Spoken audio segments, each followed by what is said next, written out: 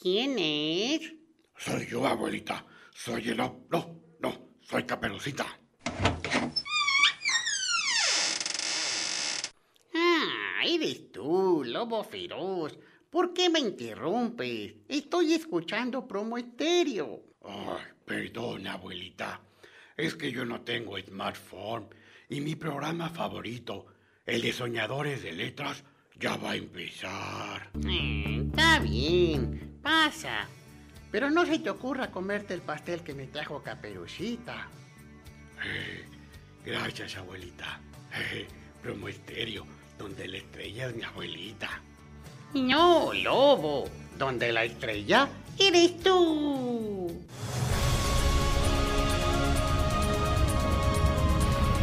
Soñadores de letras.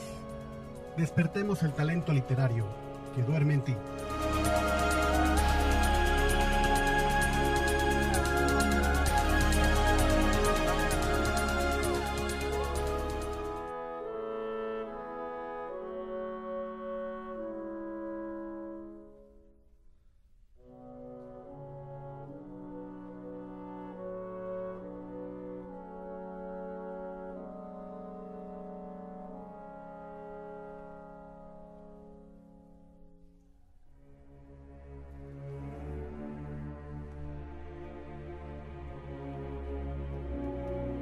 Lo más importante antes de cualquier escrito son las personas. Oscar Uribe Muy buenas noches, estimados escuchas. Bienvenidos a su programa Soñadores de Letras. Yo soy Héctor Javier Oñate, Soñador H. Estamos transmitiendo a través de la señal de Promo Estéreo, donde la estrella eres tú. Estamos ubicados en la calle Tehuantepec, número 35, en la colonia Roma, en la Ciudad de México. Nos pueden encontrar en las redes sociales Facebook, Instagram y Twitter, búsquenos como Promo Estéreo. Si gustan bajar la app, esta se encuentra en la Play Store de Google y en iTunes. En la producción tenemos a Chelly, a quien saludamos y agradecemos todo su apoyo en este programa. Por supuesto, muchísimas gracias a nuestros patrocinadores Visorus, Sistema de Administración Empresarial. El día de hoy hablaremos un poco del gran escritor sociolingüista mexicano Óscar Uribe Villegas. Para ello estaremos en contacto con dos excelentes amigos que fueron sus discípulos, licenciado Armando Castillo y el licenciado Carlos Flores. En la música estamos escuchando la obertura de Romeo y Julieta de Piotr Ilyich Tchaikovsky, gran músico y compositor ruso. Él nació un 7 de mayo de 1840 aunque su música corresponde al romanticismo, en Rusia ya se estaba gestando el movimiento nacionalista, por lo que su música fue muy, muy criticada, sin embargo, obtuvo grandes, grandes éxitos. En las efemérides, un 2 de mayo de 1772, nace Georg Friedrich Philipp Freiherr Hardenberg, mejor conocido como Novalis, un poeta romántico alemán. Eh, su obra más conocida es Himnos a la Noche. 3 de mayo de 1469 nace Niccolò di Bernardo de Machiavelli. Nicolás Maquiavelo, un gran historiador, político y teórico italiano, su obra más conocida, por supuesto, El Príncipe 4 de mayo de 1940 nace Robin Cook, médico y escritor estadounidense, su obra más conocida, Coma. Un 5 de mayo de 1818 nace Karl Marx, intelectual, sociólogo y escritor alemán.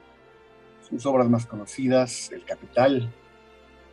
También 5 de mayo, pero de 1846, nace Heinrich Sienkiewicz, escritor polaco, galardonado con el Premio Nobel de Literatura en 1905. Su obra más conocida es Quo Vadis. 6 de mayo de 1856 nace Sigmund Freud, médico y ensayista austriaco. Su obra más conocida, La interpretación de los sueños. 6 de mayo de 1868 nace Gaston Leroux, novelista francés. Su obra más conocida, El fantasma de la ópera El 6 de mayo de 1904 nace Harry Martinson, escritor sueco, galardonado con el Premio Nobel de Literatura en 1974, su obra más conocida, Aniara, donde habla de la carrera armamentista. Amigos, estamos en comunicación con el licenciado Armando Castillo y el licenciado Carlos, Carlos Flores, ellos fueron muy amigos, compañeros y discípulos del maestro Oscar Uribe. Muy buenas noches, Carlos y Armando, ¿cómo están? ¿Qué tal? Buenas noches, Héctor. Buenas noches, Armando. Bien, pues yo como buen ignorante desconozco la obra del maestro Oscar Uribe eh, me gustaría que en este programa nos ayudaran a conocerlo y, y, a motivar a la gente a conocer su obra. Entonces, primero yo preguntaría, ¿quién fue Oscar Uribe? Oscar Uribe, Oscar Uribe nació en, en el Estado de México, en la ciudad capital, el 6 de noviembre de 1928 y murió el 10 de marzo del 2017. Nosotros lo conocimos a través de un amigo en común que se llamaba Manuel Mazaraujo, un maestro de bachilleres que siempre apoyó a la juventud mexicana a través de las instituciones liberales. Fue como nosotros conocimos a Óscar Uribe, que poco a poco nos fue enseñando que era un maestro universitario de tiempo completo, que estaba integrado, que estaba entregado en cuerpo y alma a la investigación en el Instituto de Investigaciones Sociales de la UNAM y que cuya obra básicamente se centró en temas de sociología, pero eh, era lingüista, antropólogo, politólogo y un humanista en el más amplio sentido de la palabra.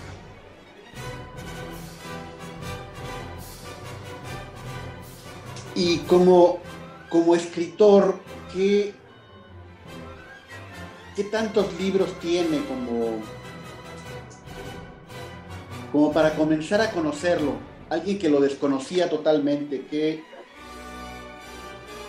tú, ¿qué me sugerirías con qué empezar a conocer a este escritor, a este maestro? Mira, él tiene un librito que se llama Ensayos Marginales. Básicamente este libro es un conjunto de ensayos de temas humanísticos. Si bien analizados desde el punto de vista filosófico, su manera de escribir y de conceptualizar la realidad era amena, digerible y sobre todo con la intención de,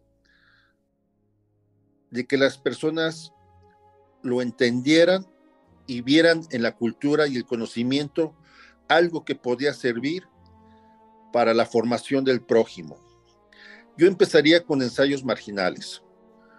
Posteriormente, eh, la obra de Óscar Uribe, podríamos decirla que se fue desarrollando a través, si bien había obra dura como una cuestión lingüística o una cuestión sociológica, en donde él trataba temas de manera rigurosa, la intención de él era que lo leyeran, que lo entendieran, pero sobre todo que lo conocieran a través de un conjunto de ensayos.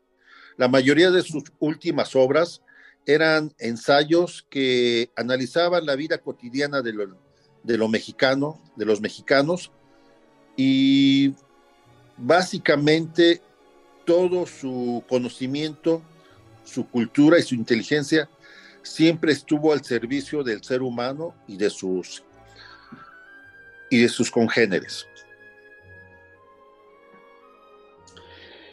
Este punto sí me parece bien, bien importante, el, que tu vida, tu obra, sirva para algo o le sirva a alguien más, ¿no? Eh, me decías que también que, que Oscar Uribe eh, fue investigador de la UNAM, ¿no? Sí. Cuéntanos más de, esa parte de, de su labor como investigador. Era un investigador, digámoslo así, pocos sui generis, en el sentido de que básicamente, si bien es cierto, hacía labor e investigación sociológica, eh, nunca se casó de manera sectaria con las diferentes ramas de la sociología, como Durkheim, Pareto, Kohn, etc. Los leía, los interpretaba, les, les escribía, pero era un maestro y un investigador que básicamente hacía obra propia a través de obra ajena, lo cual es muy difícil realizar, pero que él eh, lo, hizo, lo hizo bien y digamos muy bien. La intención de él era realizar una obra sociológica que comprendiera todo el espectro de lo humano, más allá de México, y que sobre todo permitiera hacer énfasis en las cuestiones éticas como una práctica cotidiana de la convivencia humana. Para él lo más importante es que el conocimiento tuviera una razón práctica para que el ser humano tuviera una convivencia sana, respetuosa, tolerante y feliz en el ámbito de lo cotidiano. Podríamos decir entonces que, que sus libros van dirigidos a cualquier persona, o eh, me refiero a esto que voy a hacer un paréntesis bastante, bastante grande, porque muchos lectores, lectores como yo, eh, ay, Harry Potter, está padrísimo, mira, este, mi libro favorito es eh, Colmillo Blanco, Jack London, Las grandes aventuras y me hace viajar, me hace volar. Pero en ocasiones estas lecturas pueden no ser muy diferentes de, ir al cine y, y disfrutar y pasar nuestro tiempo. Hay otras lecturas como estas que nos estás diciendo de Óscar Uribe, que además de hacernos eh, viajar y volar y tener otras, otras, otras dimensiones, eh, nos llenan de conocimiento y nos obligan a actuar en, otro, en, otro, en otros aspectos de nuestra vida. Posiblemente hasta nos obligan a cambiar nuestra vida. Y este es un nivel de lectura eh, que no cualquiera se atreve a hacerla. Entonces podríamos decir que, que los libros de Óscar Uribe están dirigidos para hacernos conscientes de nuestra vida y cambiarla.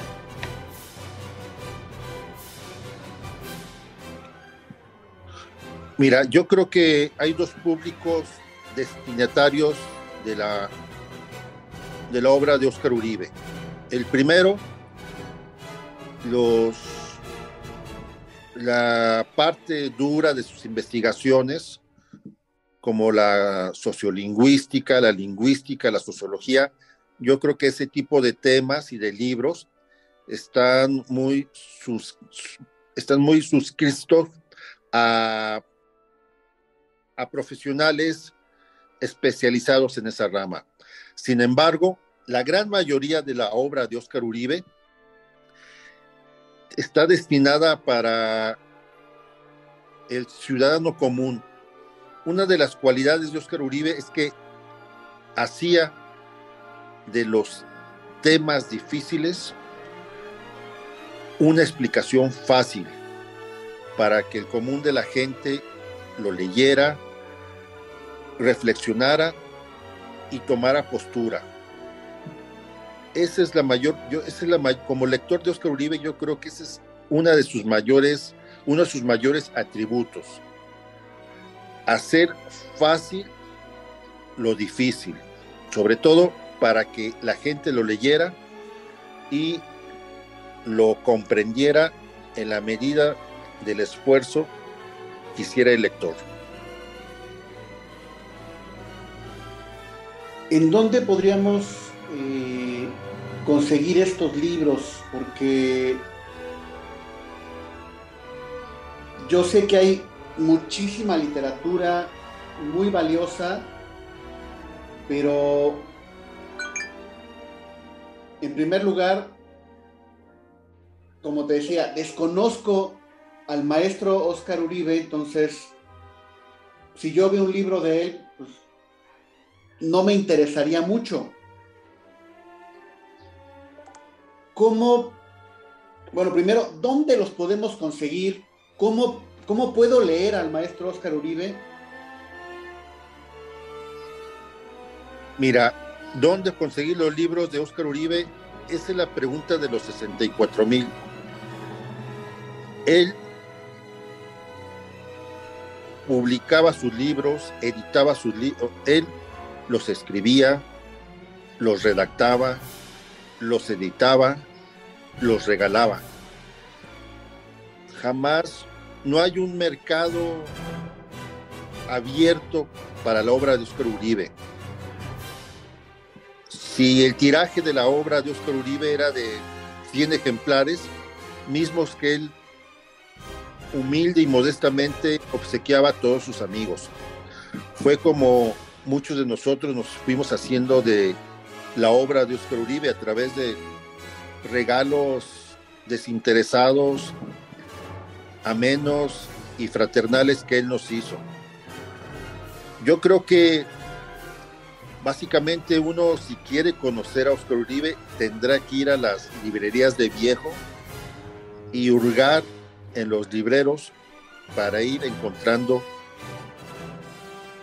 la obra de Oscar Uribe, porque inclusive eh, un servidor no tiene todos los libros de Oscar Uribe y tampoco eh, la universidad misma tiene la obra completa de Oscar Uribe, debido a que era una persona que no, no buscaba el lucro, sino básicamente la difusión de la cultura y del conocimiento, y fue la manera en que él la hacía llegar a los amigos, a los coetáneos y a los colegas,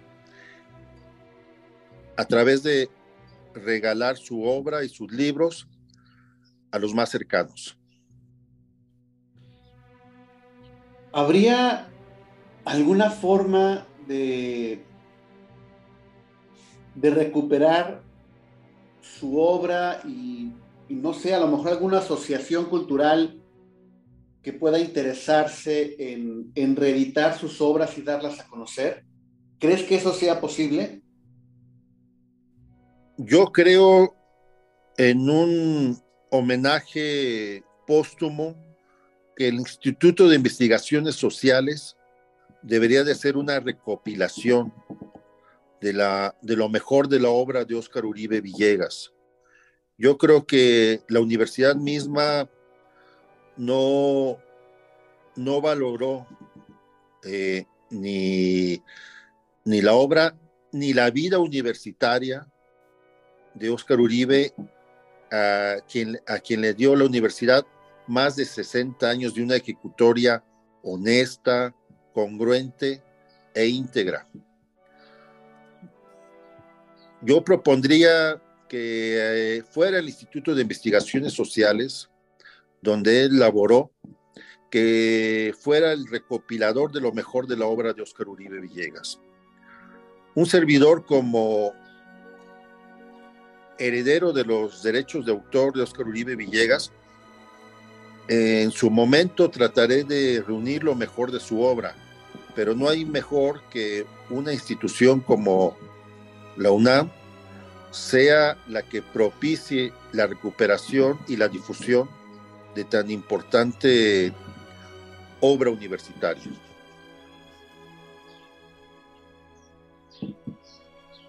Ok. Eh, ¿Y ustedes conocen alguna manera de, hacer llegar esta propuesta? Eh, y obviamente se va a requerir algún recurso económico, pero, pero ¿cómo, ¿cómo podríamos hacer oficial esta propuesta para, para recuperar la obra de, de Oscar Uribe?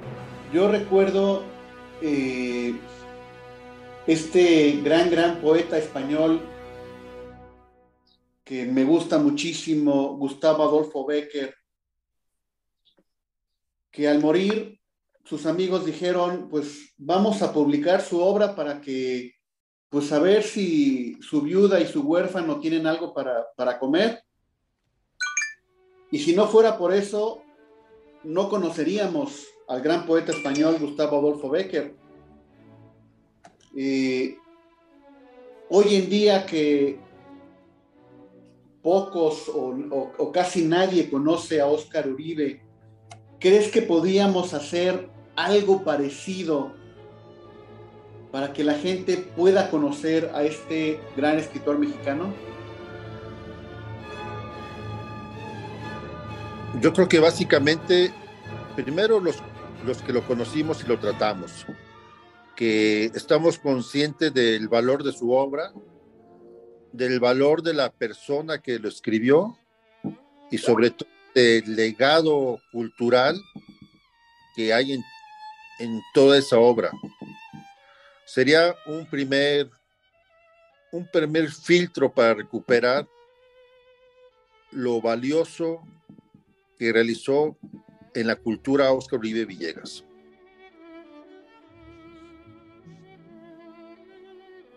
Ok, pues yo de entrada me pongo a tus órdenes para apoyar en lo que se pueda. Bueno, como punto número uno, conocer su obra. Y como punto número dos, eh, ver de qué manera puedo apoyar para que esto salga a la luz y más gente pueda conocerlo.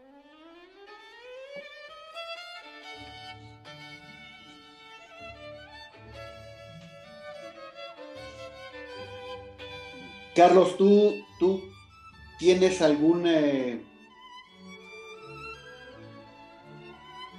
algún comentario sobre la obra de Oscar Uribe?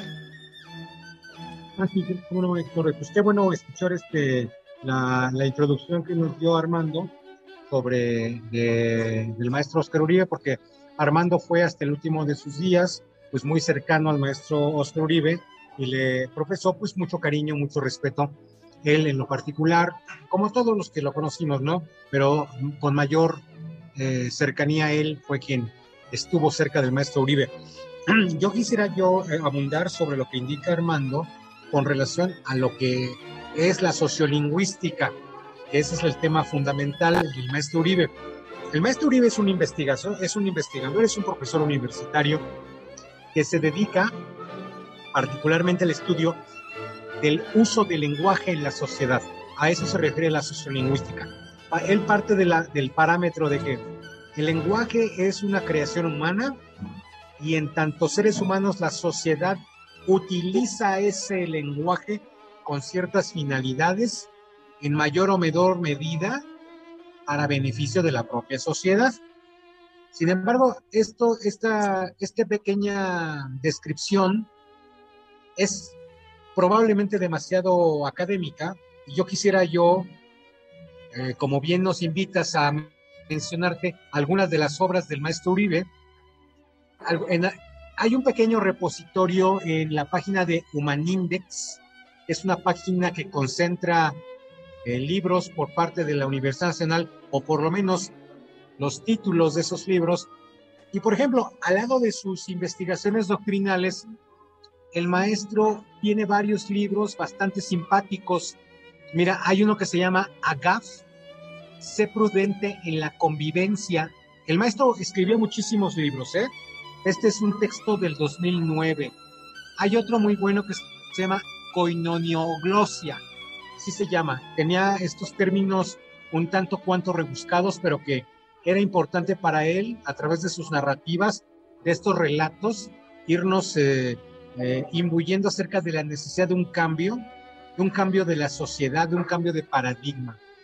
Hay otros, por ejemplo, Independencias Nacionales al sur del Bravo.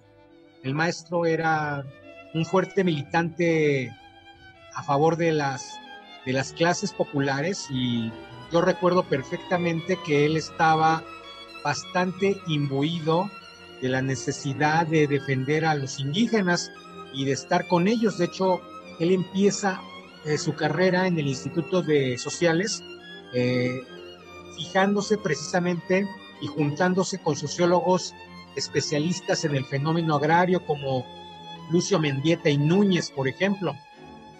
Entonces, pues el maestro Uribe va a tener esa tónica a lo largo de su carrera para dejar ver de que el lenguaje se utiliza pues también por los poderosos y hay una clase a la cual se le está afectando, se le afecta en términos del maestro Uribe. Hay uno muy simpático que aquí está relatado que se llama Los cofrades de Serapión. Este, este es del maestro Uribe, escrito en el 2008. Libertad Solidarista Identificadora de México, también de 2007.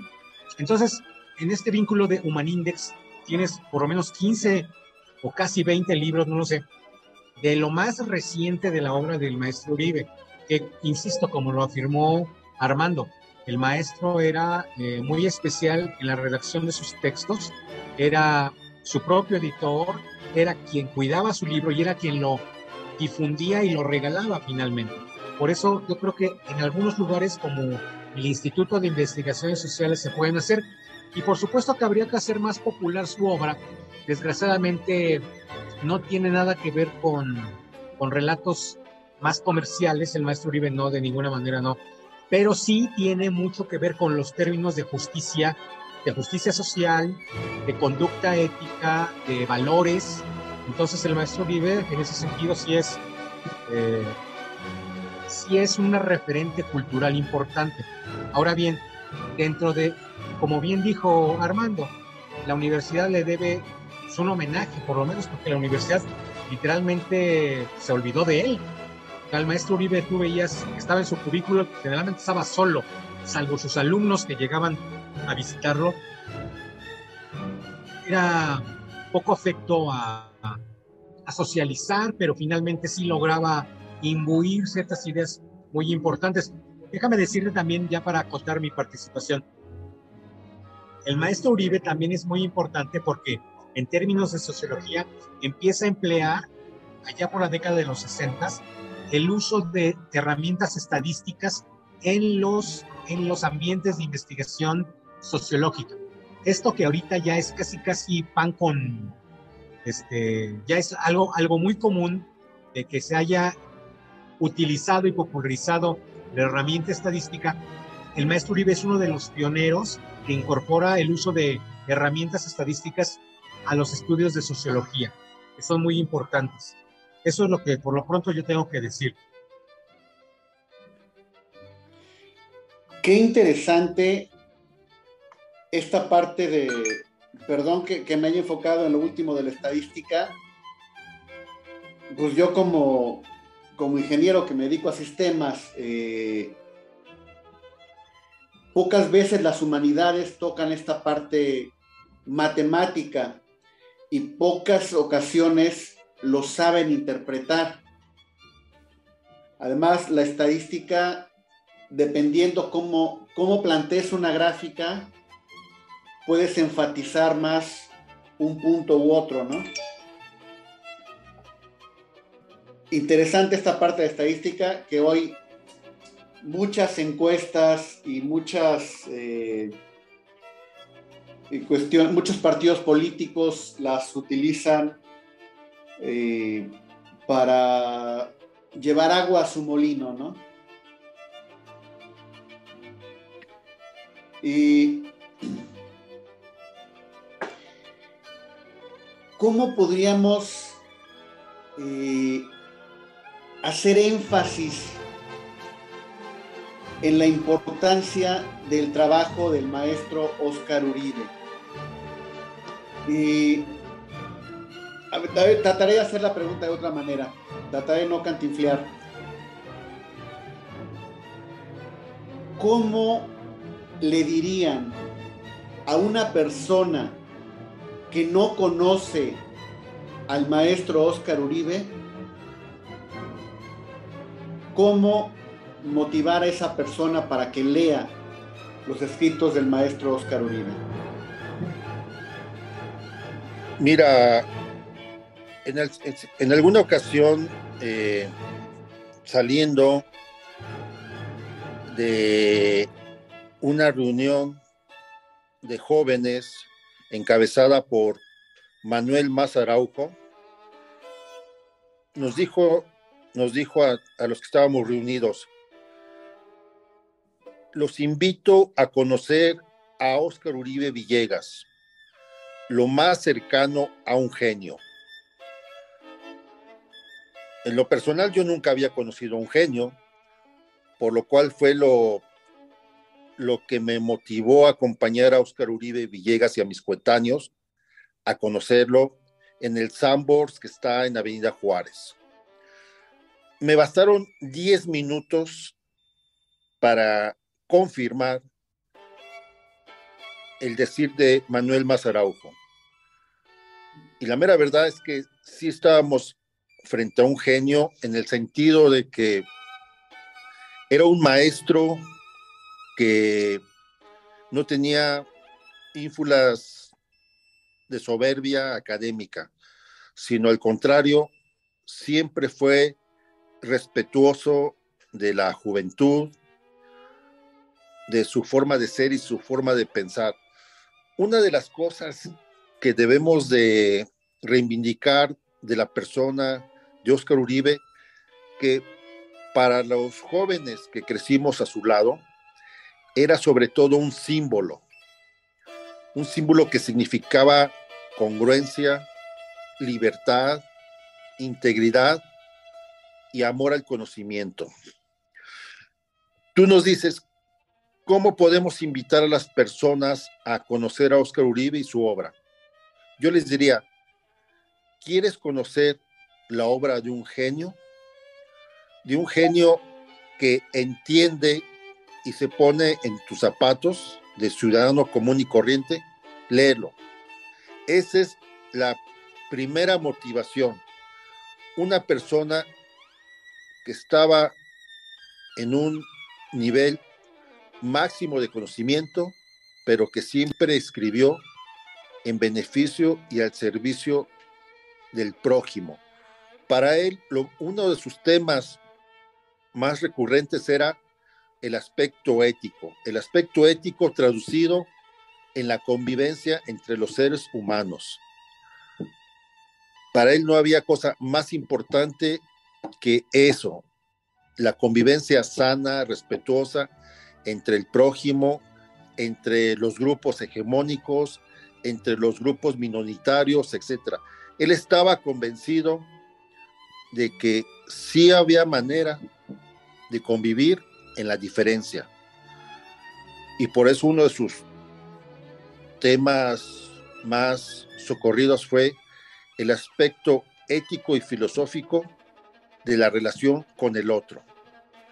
Yo le diría a aquellos, aquellas personas que no conocen a Oscar Uribe, le descubre lo que decía un genio con respecto a lo que los ciudadanos sentimos y pensamos diariamente. Excelente.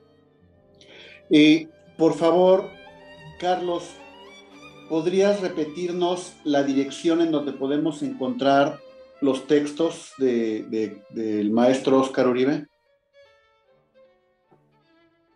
como no, fíjate que están en www.humanindex.unam.mx. Ahí pueden encontrar, eh, pulsando el nombre del maestro Oscar Uribe Villegas, se llamaba Rafael Oscar Uribe Villegas, pues por lo menos una muestra de sus últimos libros. Los títulos de esos, de esos textos. Ok, y ya con esos títulos podemos ir a buscarlos en algún otro lado. ¿O sí podemos encontrar ahí textos? En Human Index y eh, concretamente en el Instituto de Investigaciones Sociales, que es donde él trabajó, ahí deben de tener la mayor parte de sus textos oficiales. Muy bien. Y, y por último, ¿sí podríamos llegar a publicar sus obras? Yo creo que sí. Yo creo que no habría ningún impedimento para hacerlo.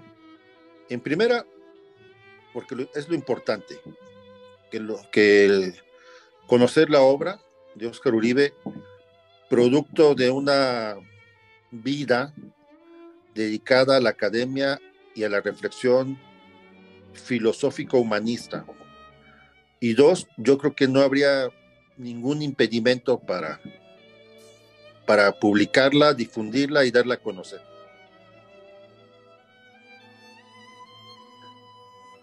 Muy bien. Pues, mis queridos amigos, de verdad, este, muchísimas gracias por su participación. Eh, yo no quisiera que, que, esto se quedara solamente en, una, en una pequeña sesión para, para tratar de dar a conocer al, maestro Oscar Uribe, sino que fuera el inicio de un trabajo donde en verdad podamos podamos dar a conocer la obra de Oscar Uribe. De verdad, eh, muchísimas, muchísimas gracias por, por, por, estar en el programa.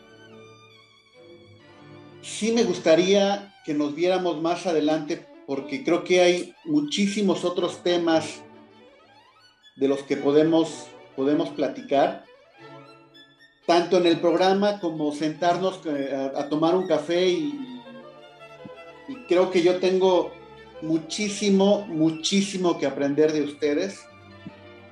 De verdad, les, les, les, agradezco muchísimo el que hayan estado aquí. Y pues bueno, yo me considero un ignorante en, en cuestiones literarias, pero tuve la suerte de tener este programa y no tengo otra opción más que ponerlo al servicio de la gente que realmente sabe. De verdad, muchísimas, muchísimas gracias. No nos queda más que restar y restar y decir que agradecemos que nos abras tus micrófonos para reivindicar no únicamente a un amigo, sino a un maestro que necesita ser conocido y cuya obra tiene que ser difundida para el bien de México. Pues muchas gracias, este, estimado Héctor, por la invitación. Gracias a ustedes y muy buenas noches. Gracias. Gracias por escucharnos. Nos esperamos la próxima semana para cerrar el programa dejaremos algunas canciones con la voz de Plácido Domingo, quien fuera uno de los cantantes favoritos del maestro Oscar Uribe Villegas. Recuerden amigos que el universo siempre conspira a favor de los soñadores, nunca reprime el sueño interno y dejen que descubran los libros. El mundo necesita lectores críticos, por favor, enamórense de la literatura y sean soñadores de lejos.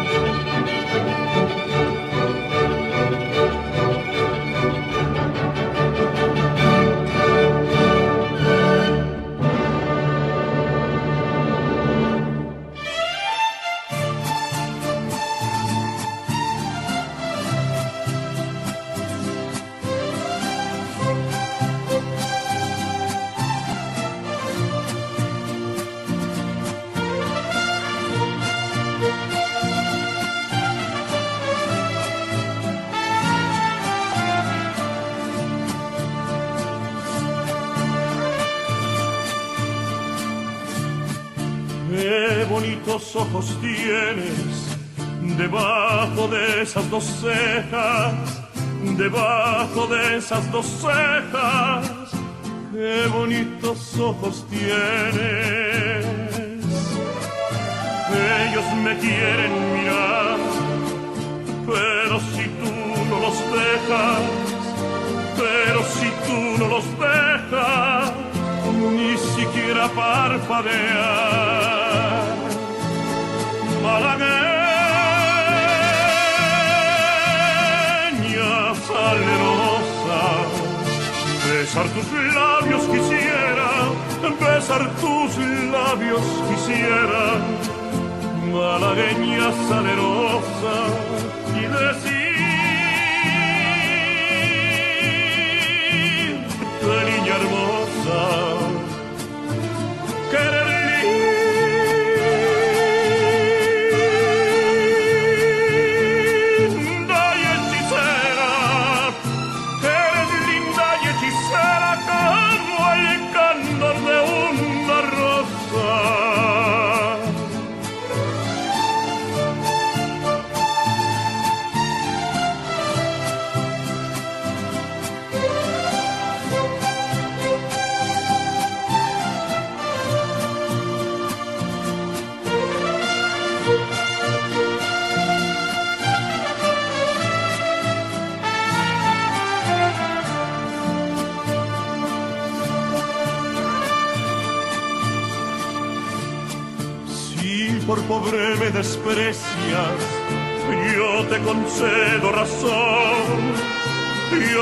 concedo razón. Si por pobre me desprecias, yo no te ofrezco riquezas, te ofrezco mi corazón, te ofrezco mi corazón a cambio de mi pobreza. Malagueña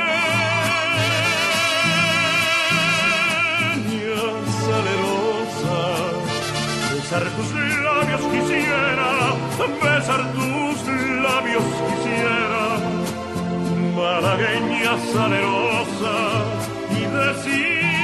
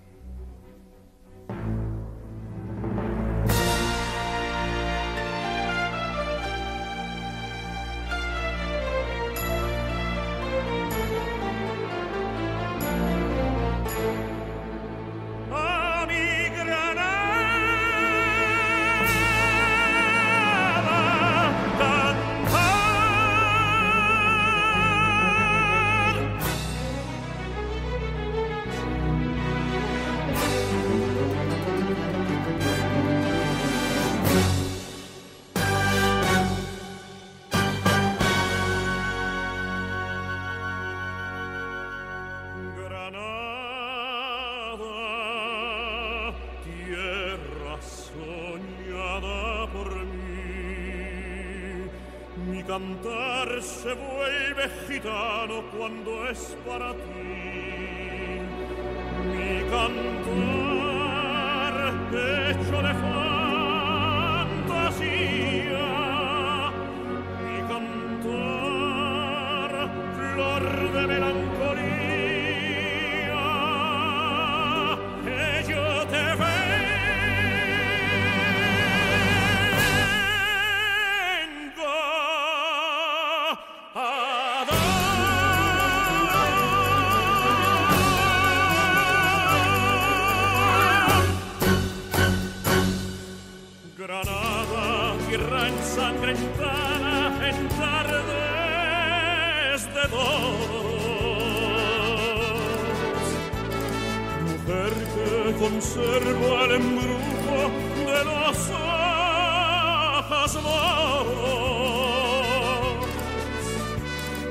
Sueño rebelde y gitana cubierta de flores.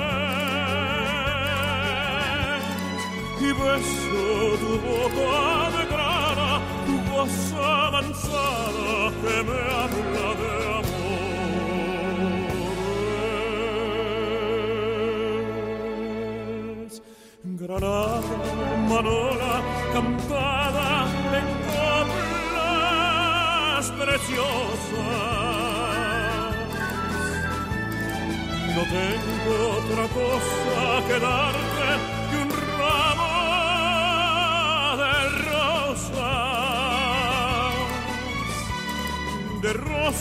queste suave fra d'ansia che devi eran marta la virgen novena.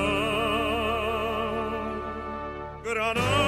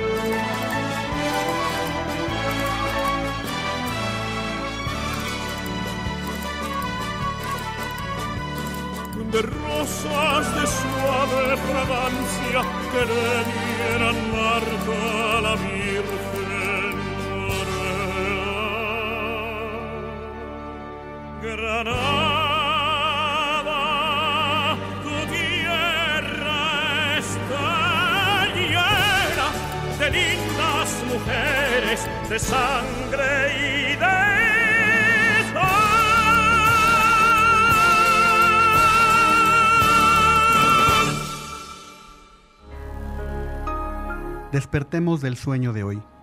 Nos escuchamos la próxima semana. Y gracias a todos por ser soñadores de letras.